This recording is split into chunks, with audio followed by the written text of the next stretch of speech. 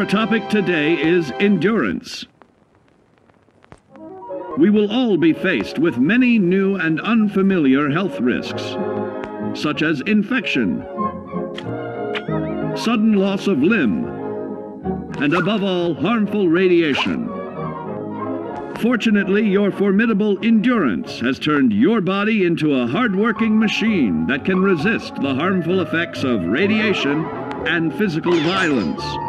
Like any machine, then, your body must be well maintained to stay in tip-top shape. While average Joes will survive on old packaged standbys, your ironclad insides will allow you to seek fresh meat. Radiation poisoning may have enlarged your favorite meals. This means more healthful nutrition for you.